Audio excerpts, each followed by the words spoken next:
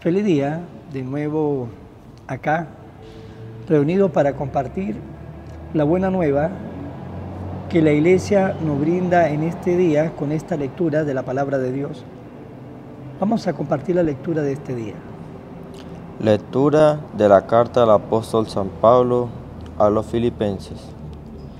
Hermanos, tengan los mismos sentimientos que tuvo Cristo Jesús, el cual, siendo Dios, no consideró que debía aferrarse a las prerrogativas de su condición divina, sino que por lo contrario se anonadó a sí mismo tomando la condición de siervo, y se hizo semejante a los hombres.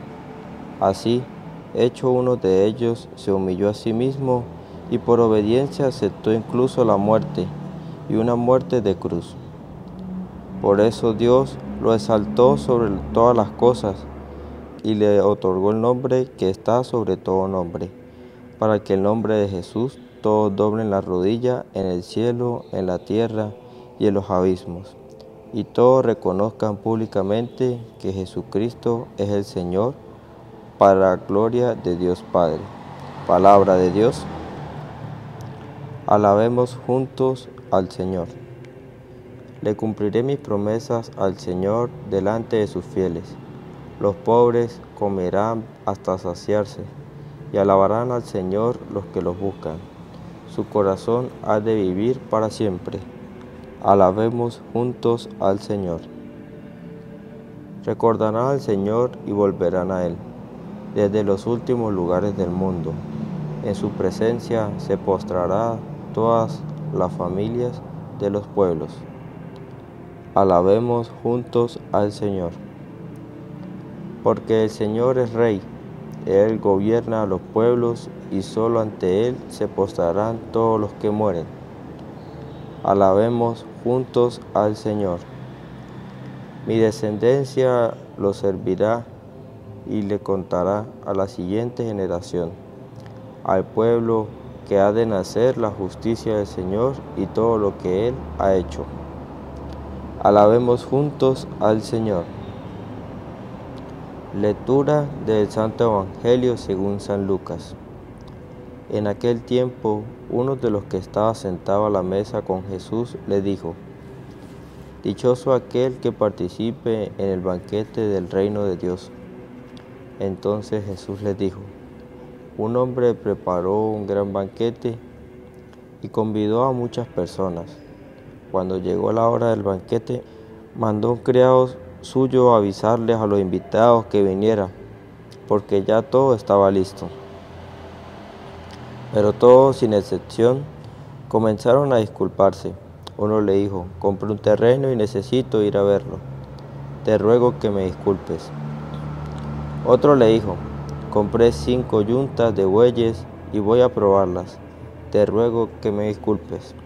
Y otro más le dijo, acabo de casarme y por eso no puedo ir. Volvió el criado y le contó todo al amo. Entonces el señor se enojó y le dijo al criado, sal corriendo a las plazas y a las calles de la ciudad y trae a mi casa a los pobres, a los lisiados, a los ciegos y a los cojos. Cuando regresó el criado, le dijo, Señor, hice lo que me ordenaste y todavía hay lugar. Entonces el amo respondió, Sal a los caminos y a las veredas, insísteles a todos para que vengan y se llene mi casa. Yo les aseguro que ninguno de los primeros invitados participará de mi banquete. Palabra del Señor, gloria a ti, Señor Jesús. Hoy en el Evangelio Jesús hace una invitación. La invitación que nos hace es para un banquete, un banquete que se va a celebrar en el reino de Dios. Y nos dice el Señor, dichoso aquel que participe en el banquete del reino. Pero Jesús nos dice estas palabras y nos pone este ejemplo y habla de esta manera, nos dice, un hombre preparó un gran banquete. Ese hombre eh, que preparó un gran banquete es Dios. Y él convidó a muchos, es decir, convidó a todos, pero ¿qué pasó? Cuando llegó la hora del banquete, mandó a un criado suyo que le avisara a los invitados que vinieran, porque ya todo estaba listo. Y nos dice que todos sin excepción comenzaron, cada uno tenía una excusa, cada uno tenía una excusa. Uno dijo, este, discúlpenme, es que compré un terreno y necesito ir a verlo. El otro, compré cinco yuntas de bueyes y voy a probarla. El otro, me acabo de casar y por eso no puedo ir. Cada uno tenía su propia excusa. Cada uno tenía su propio achaque. Por lo tanto, ninguno fue. Pues bien, ¿qué nos quiere decir Jesús con estas palabras? Eh, ¿Qué nos quiere dar a entender a cada uno de nosotros? El Señor nos quiere decir que en el reino de los cielos hay un banquete, un banquete que no tendrá fin, un banquete que será siempre alegría, felicidad y paz que es estar con el Dios de la vida eternamente. Ese es el gran banquete. Estar en ese lugar donde Pablo dice, ni ojo han visto, ni oído escuchado, lo que Dios tiene preparado para los hombres, pero ese cielo, ese banquete, se gana acá en la tierra o se pierde acá en la tierra.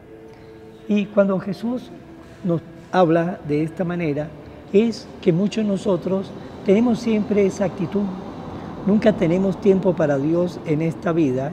¿Por qué?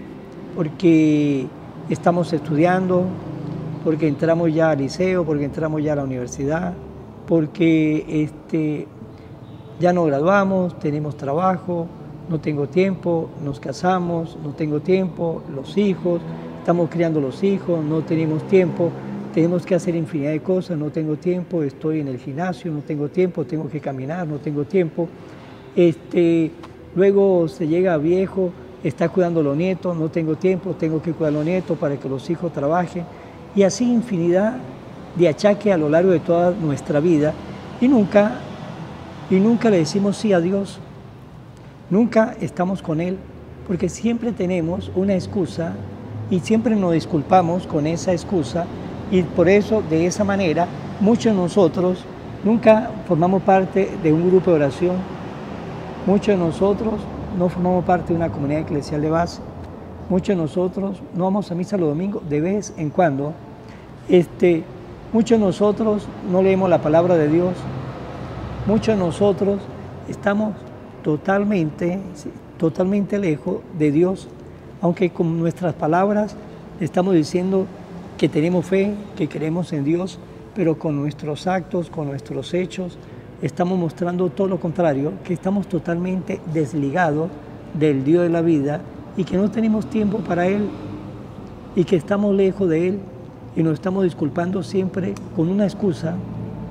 Y es que todos tenemos algo que hacer en la vida, todos tenemos algo que realizar en la vida, pero siempre hay un tiempo, siempre hay un tiempo que nosotros podemos utilizar, pero ¿qué pasa? Muchos de nosotros utilizamos ese tiempo para muchas cosas, menos para las cosas de Dios y no olvidar que la vida es un regalo de Dios. Estamos aquí gracias a Dios. Lo mucho o poco que tenemos es gracias a Dios. La familia que tenemos es gracias a Dios. Todo es gracias a Dios. Si aquel que nos da todo no tenemos tiempo para Él en esta vida, pues tenga la seguridad que cuando llegue el momento hay un gran peligro que también nos quedemos fuera de ese gran banquete, del banquete del reino de Dios. ¿Por qué? Porque en esta vida no tuvimos tiempo para Dios y cuando llegue el momento de partir de este mundo la eternidad, pues también el Señor no nos va a querer a nosotros en su banquete, porque tampoco nosotros lo quisimos a Él acá en esta vida para llevarlo en nuestro corazón y estar con Él y sacar un tiempo para estar con Él. Y todos estamos invitados a este banquete. La gran pregunta es, ¿de qué manera le estoy respondiendo a Dios a esa invitación que me está haciendo? ¿O somos todavía ustedes y yo de aquellos muchos que siempre tenemos una excusa para disculparnos? Vamos a finalizar en mano de María. Oración a la Virgen María. Oh Virgen María, Madre de Jesús y Madre mía, como en Caná te das cuenta cada día lo que yo necesito. Ruega a Jesús por mí, cuídame siempre, no me deje nunca. No permitas que me aleje de Jesús, tu Hijo amado. Ayúdame a corregirme defectos que me alejan de Jesús y fomentar mis virtudes que me acercan a Él. Sea siempre mi madre protectora a lo largo de toda mi vida. Amén. Será hasta mañana, Dios mediante, en el nombre del Padre, del Hijo y del Espíritu Santo. Amén. Evangelio de hoy con el Padre Iván Jaimes.